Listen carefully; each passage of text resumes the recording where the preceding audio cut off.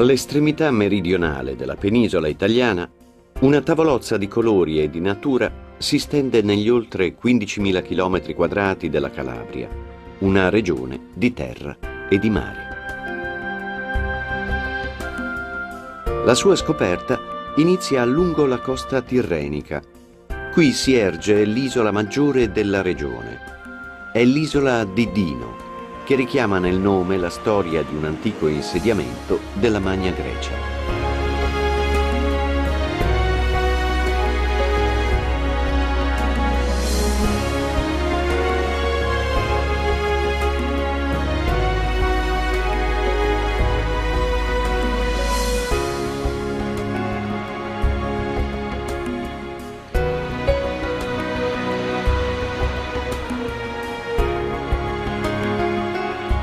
Dal territorio che confina con la Basilicata, la costa è un susseguirsi di promontori alternati a strisce di sabbia lungo tratti pianeggianti che hanno accolto le moderne località costiere.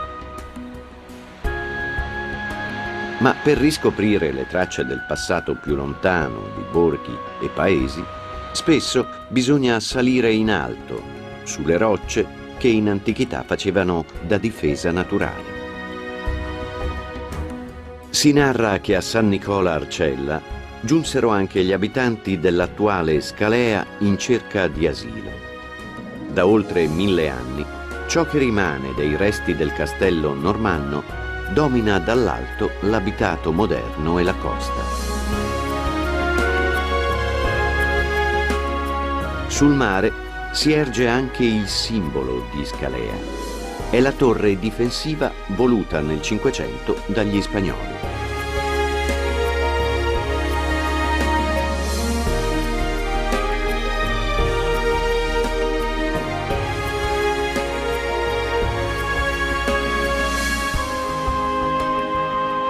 La storia di queste coste raggiunte via mare dalle civiltà antiche si legge nel nome stesso dell'antica Cirella, fondata dai greci sul sito di un insediamento preistorico. Anche qui i resti dell'epoca medievale si ergono su un colle dove un tempo sorgevano il castello e un convento francescano.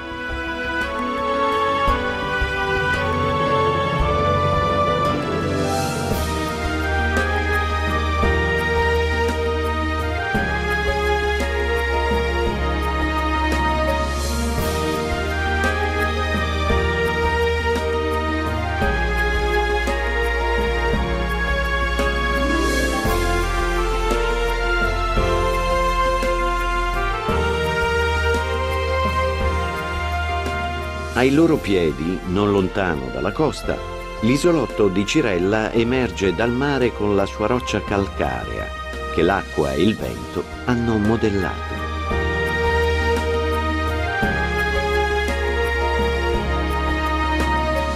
Con meno di un chilometro di perimetro, questo lembo di terra disegna l'orizzonte che fronteggia la città di Diamante.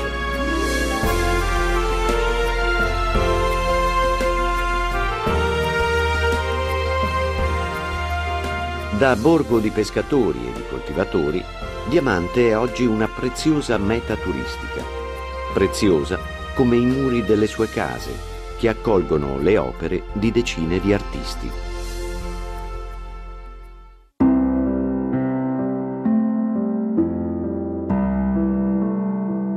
Dall'inizio degli anni Ottanta, i murales hanno trasformato i vicoli in corridoi di un museo a cielo aperto, con immagini che spesso rafforzano il legame degli abitanti con il mare.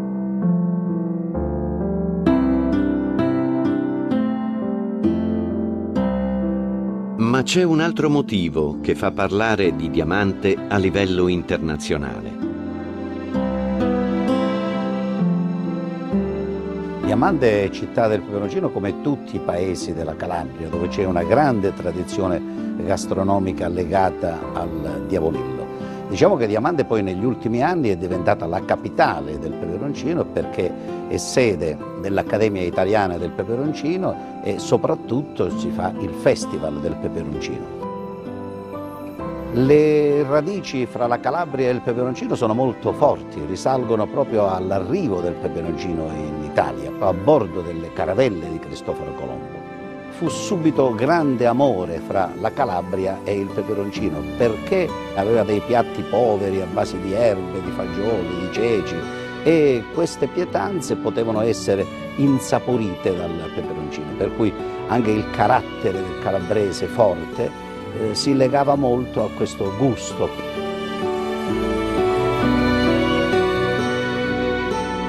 Lungo la costa la scoperta del territorio passa per un altro borgo dalla lunga storia. Costruzioni e ricostruzioni di insediamenti e di fortezze hanno lasciato il segno sul colle che ospita Fiume Freddo Bruzio.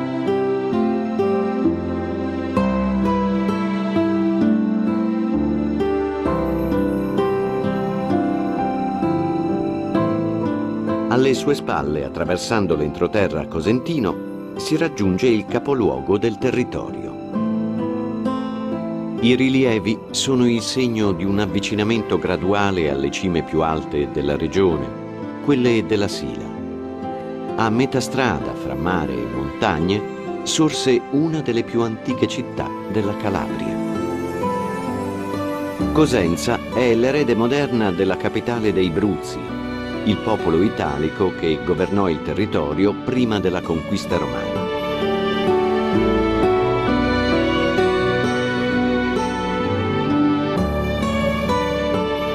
Lo sviluppo urbano del dopoguerra ha sostituito i terreni agricoli che facevano da cornice al centro storico della città, cresciuta su sette colli.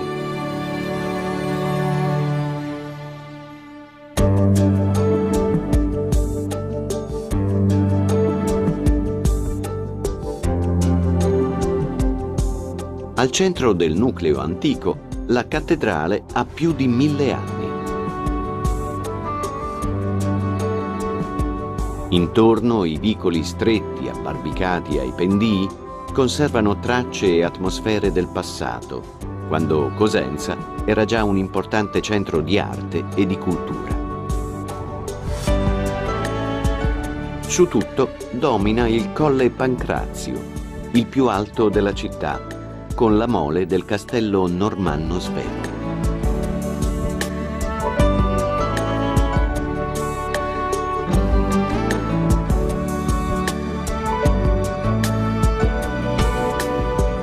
Le colline nei dintorni di Cosenza punteggiano il paesaggio con le loro distese di uliveti che più a sud lasciano il posto alla piana di Sant'Eufemia.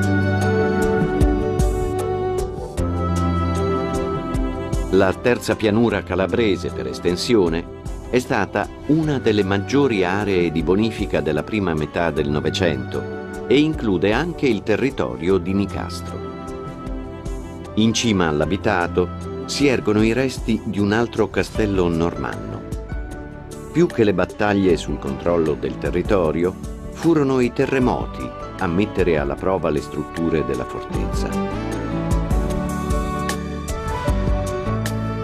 Per lo stesso motivo, in epoca barocca, fu necessario ricostruire anche la cattedrale, che oggi ha il volto ottocentesco dell'ultimo rifacimento.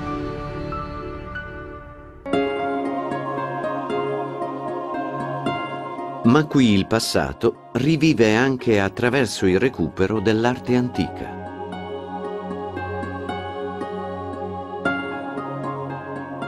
Noi abbiamo dei ritrovamenti eh, qui sulla piana di Lamezia, eh, l'antica Terina, che risalgono al V e al IV secolo.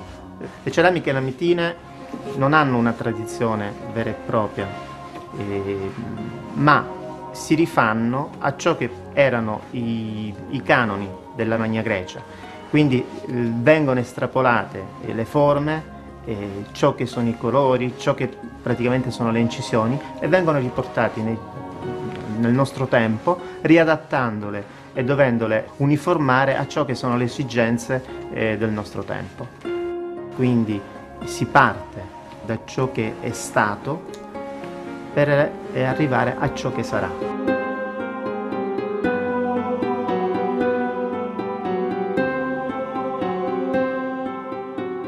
La tradizione è un punto di partenza eh, e poi ti, ti, apre ad un mondo che è completamente contemporaneo, fantasioso, fantastico, che è la tua fantasia, che è la tua energia che dai su ogni oggetto che vai a realizzare.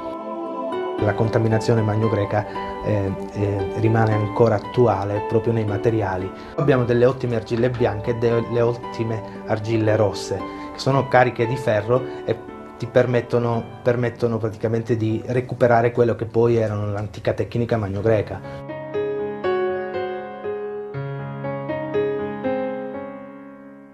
Le ceramiche lametine sono un ponte tra passato e presente, un simbolo della valorizzazione delle proprie risorse che spaziano dalla storia all'arte fino alla natura.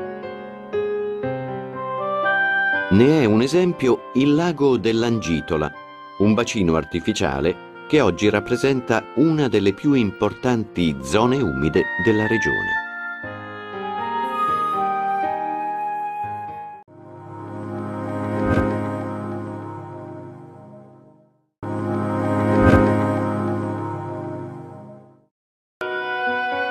La chiamano la Costa degli Dei, uno dei tratti più celebri del turismo balneare della Calabria, merito anche delle spettacolari formazioni rocciose che si innalzano lungo il litorale. Il borgo di Pizzo deve il suo nome al Pizzu, lo sperone di tufo sul quale è cresciuto il nucleo abitato. Il castello quattrocentesco è diventato celebre per un episodio di storia dell'Ottocento. Qui i borbonici del regno di Napoli fucilarono il generale francese Gioacchino Murat. Le sue sale sono oggi la sede di un museo che riproduce il condottiero e i soldati napoleonici che, sbarcati a Pizzo, andarono incontro alla sconfitta.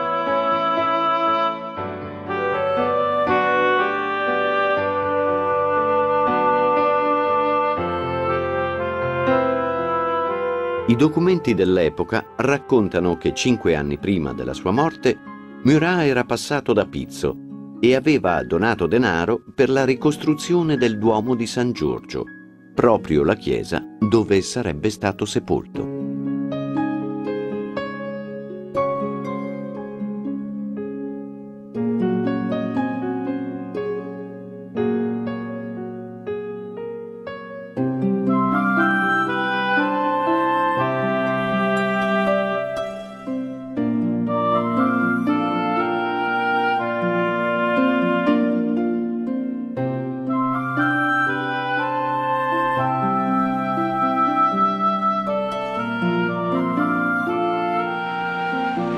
A sud di Pizzo, lungo il litorale, la frazione marittima di Vibo Valencia annuncia con il porto la città alle sue spalle.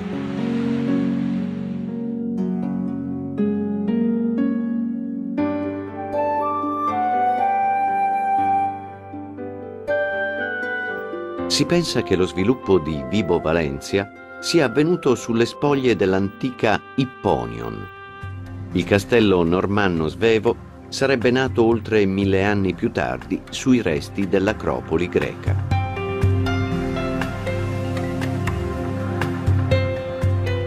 Ma in lontananza il richiamo del mare si fa più forte.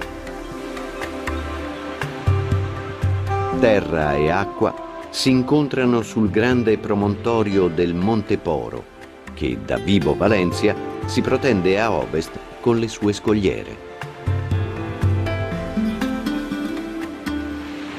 Per 780 km dal Tirreno allo Ionio, il litorale calabrese rappresenta quasi il 20% delle coste dell'intera penisola italiana. È una continua scoperta dei tanti volti che il Mediterraneo può assumere.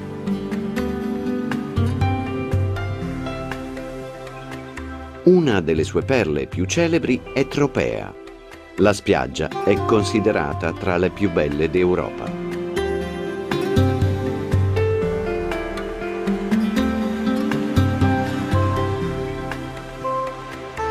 Sul bianco abbagliante di un grande scoglio, la chiesa di Santa Maria dell'Isola sorse per ospitare una comunità di monaci e per secoli questo luogo rimase il rifugio di eremiti e naviganti.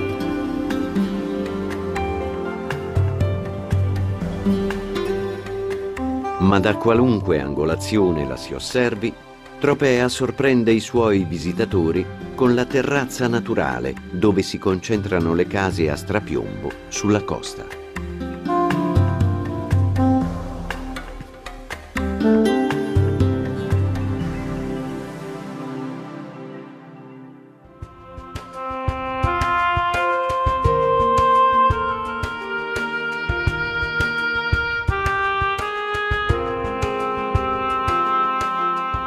La Costa degli Dei è tanto spettacolare e celebre oggi quanto doveva esserlo agli occhi dei coloni greci che vi approdavano.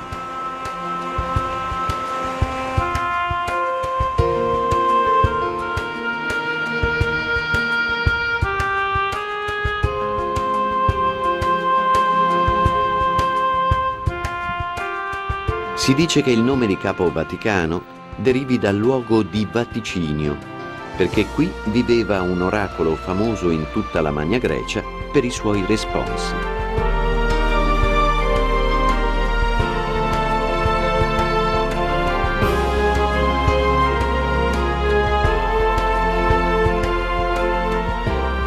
Il promontorio roccioso segna il limite del golfo di Gioia Tauro, dove l'erede di un'altra antica colonia greca è oggi sede di uno dei maggiori porti industriali d'Europa.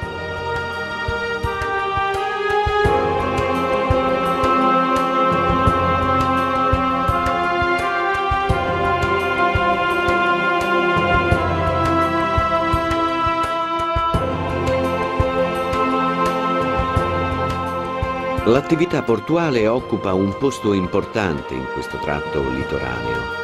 Lo dimostra lo scalo peschereccio di Bagnara Calabra, immerso nei paesaggi della Costa Viola che fronteggia lo stretto di Messina.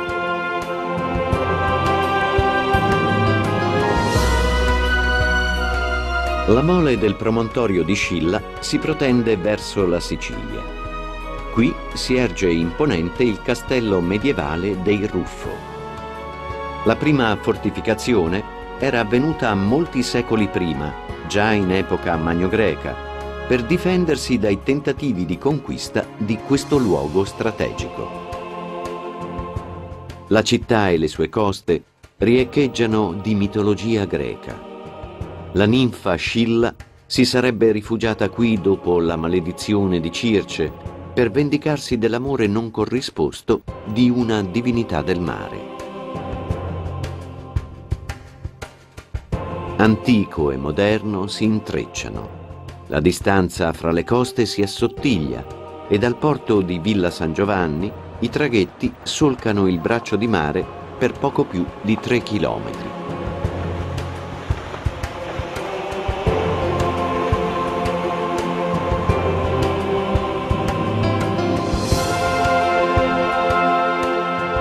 Meno di 20 chilometri più a sud, l'incontro con Reggio Calabria non può che avvenire dal mare, rievocando l'entusiasmo che gli scrittori hanno espresso alla scoperta della sua bellezza. Nell'Ottocento lo scrittore inglese Edward Lear rimase affascinato dalla visita della città e scrisse Reggio è un grande giardino, uno dei luoghi più belli che si possano trovare sulla terra. Gabriele D'Annunzio parlò del lungomare come del più bel chilometro d'Italia. Per ricordare lo sbarco del nuovo sovrano Vittorio Emanuele III, il lungomare ospita un monumento in marmo a proteggere la città. La statua fronteggia il teatro, una struttura moderna ispirata alla tradizione classica.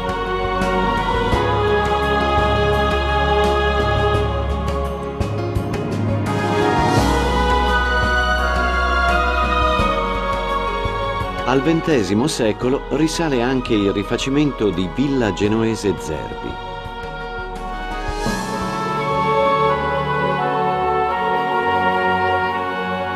Oggi questo antico palazzo dal volto eclettico e inusuale svolge un ruolo di spicco nel panorama dell'arte contemporanea.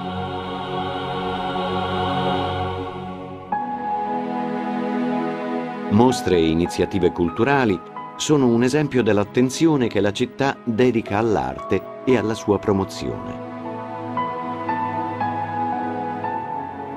Ma il rapporto tra Reggio Calabria e la cultura ha radici lontane che affondano nella nascita dell'antica Region.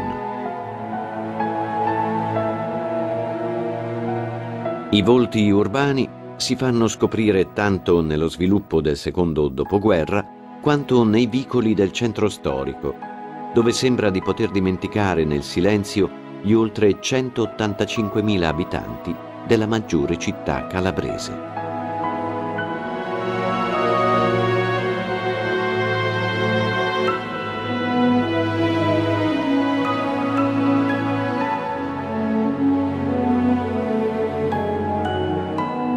una città importante già in epoca classica, come dimostrano i numerosi resti archeologici.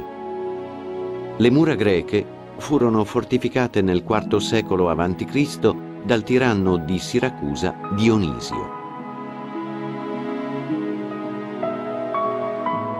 Quando i romani conquistarono il territorio, si impossessarono anche delle sue opere d'arte. Ma nel trasporto via mare persero quelli che sarebbero diventati un simbolo della Calabria.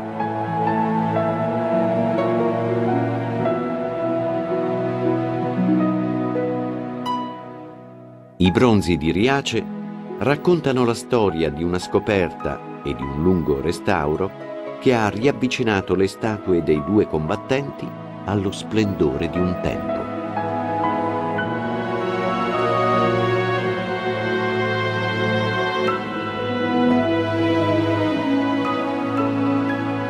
Rimasti sui fondali di Riace Marina per oltre duemila anni, oggi gli eroi guerrieri si lasciano ammirare in tutta la loro fierezza, accanto a una straordinaria raccolta di reperti archeologici che raccontano la storia stessa del territorio.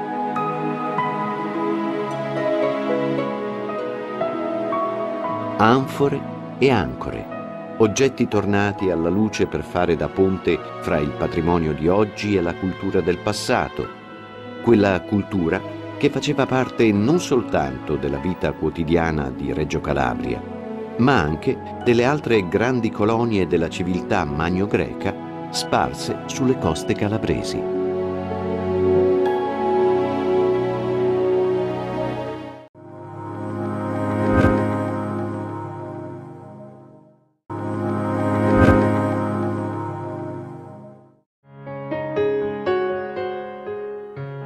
Torri della fortezza aragonese sono sopravvissute alle demolizioni e testimoniano la grande struttura difensiva che nel tempo dovette fare spazio a piazze, strade e palazzi.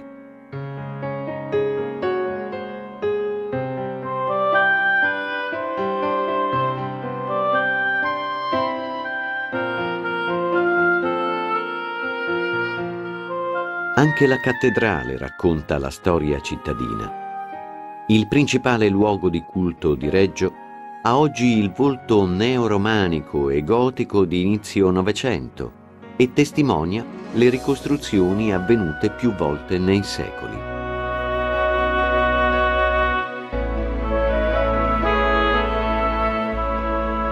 Qui termina la scoperta della costa occidentale della Calabria.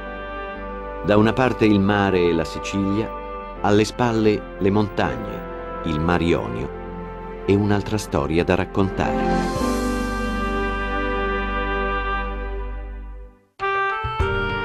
All'estremità meridionale della Calabria, mari e montagne tessono un dialogo a distanza ravvicinata. La terra assume forme sorprendenti, come quella del Monte Calvario, simile alle cinque dita di una mano, che ha dato il nome al piccolo borgo di Pentedattilo.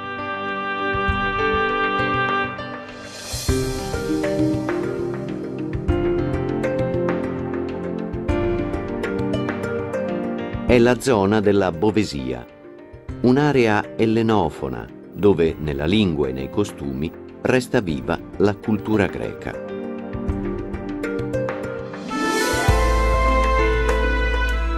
Dalle montagne dell'Aspromonte scorre l'acqua delle fiumare. I grandi letti dei fiumi sono come addormentati d'estate e impetuosi d'inverno.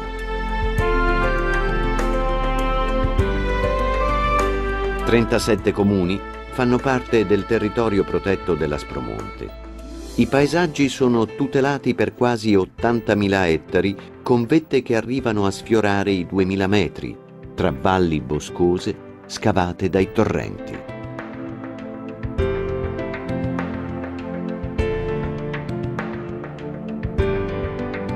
Qui l'erosione dell'acqua e del vento ha formato anche i monoliti, che si concentrano nella valle delle grandi pietre.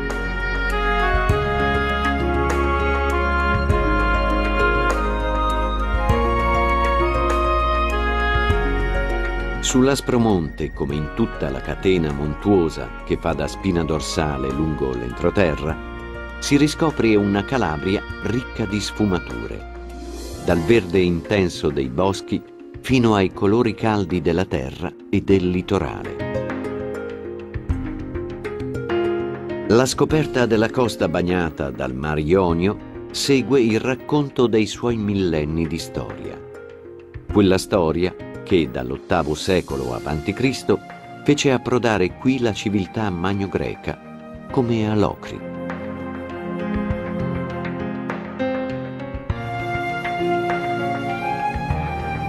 La conservazione delle città antiche è legata anche alla distanza dai centri abitati moderni che sono cresciuti lungo la costa e sulle alture.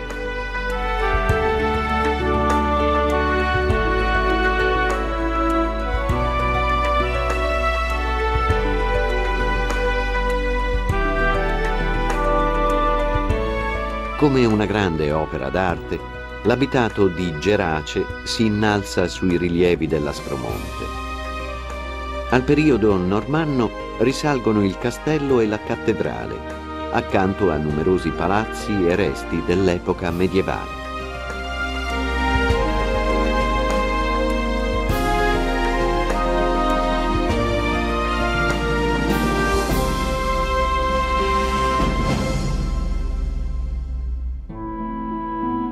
Con il loro profumo intenso, i gelsomini danno il nome a questo tratto di costa. Complici l'acqua limpida e le spiagge, la riviera dei Gelsomini è diventata sinonimo di turismo balneare.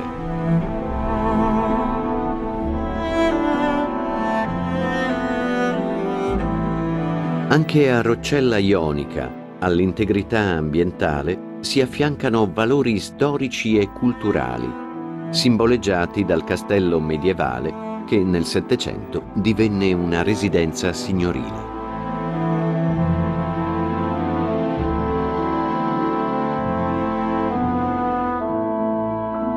Sui fondali, non lontano dalla costa, nel 1972 avvenne il ritrovamento delle due statue greche che sarebbero diventate celebri in tutto il mondo come i bronzi di Riace.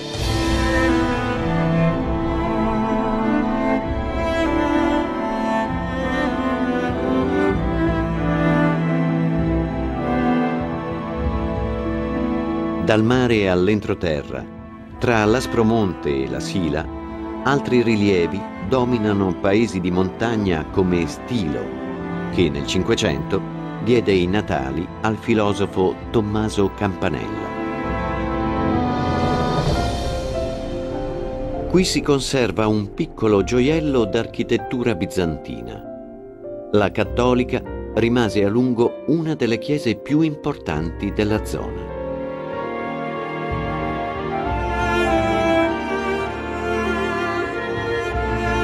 Intorno si innalza il paesaggio delle serre, con scenari che spaziano dai piccoli borghi stretti fra le rocce come quello di Pazzano a zone di natura selvaggia e protetta.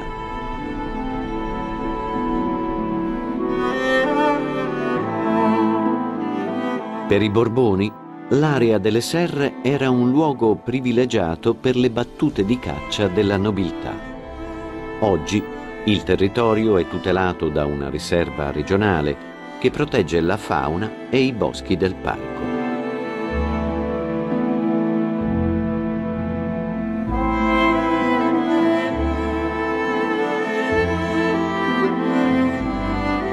È come se qui la natura riprendesse il sopravvento sulle passate attività dell'uomo. Gli alberi sembrano quasi contendersi lo spazio dei vecchi edifici, mentre diverse specie animali sono tornate a vivere nella riserva.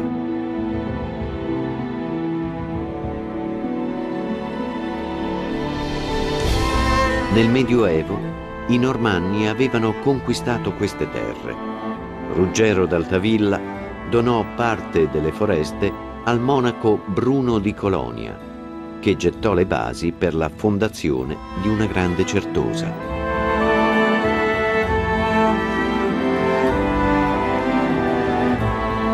Nei secoli successivi l'abbazia di San Bruno crebbe d'importanza e con fortune alterne si arricchì con nuove architetture, diventando una delle più celebri e ricche della Calabria.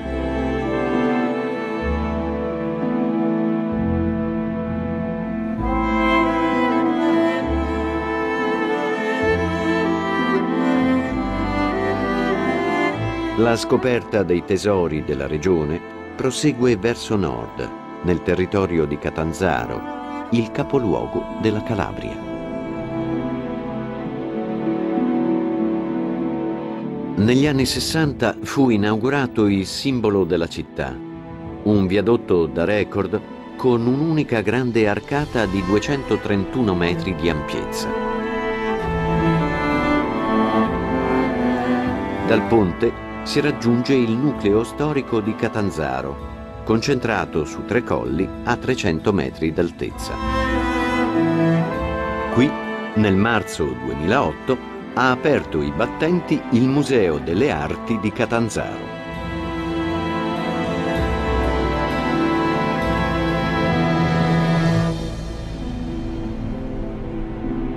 Le esposizioni nelle sale del Marca uniscono passato e presente, storico e contemporaneo, a cominciare dalla collezione permanente del Museo Provinciale, con capolavori e dipinti degli ultimi cinque secoli.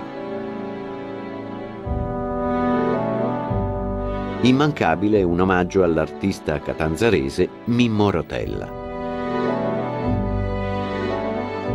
Nato nel 1918, Rotella è considerato uno dei più significativi artisti del XX secolo, artefice di un successo che ha valicato ampiamente i confini nazionali ed europei.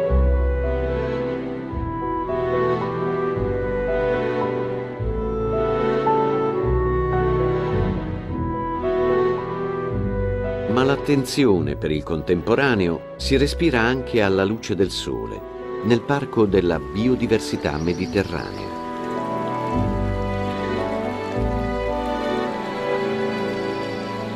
In questo rinnovato polmone verde della città trovano posto non soltanto animali e piante, ma anche installazioni artistiche come L'uomo che misura le nuvole del belga Jean Fabre.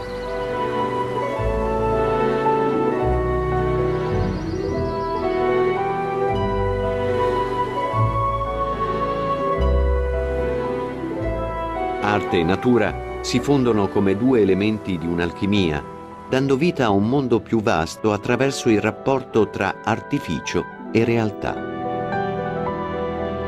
A prestare la loro arte sono nomi noti nel panorama contemporaneo internazionale, come Tony Craig, Anthony Gormley e Mimmo Palladino, accanto alle opere scultoree di artisti locali.